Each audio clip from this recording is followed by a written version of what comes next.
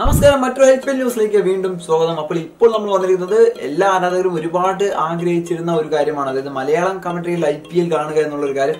Malayalam commentary നമ്മുടെ I P L ലഭ്യമായിരിക്കുകയാണ്. അതായത് ഈ ഒരു സമയത്ത് പക്ഷേ ഈ ഒരു ന്യൂസ് ഒരുപാട് സ്പ്രെഡ് ആയിട്ടില്ല. അതുപോലെ തന്നെ ഈ ഒരു സംഭവം ഒഫീഷ്യലായിട്ട് കൺഫേം ആരും ചെയ്തിരുന്നില്ല.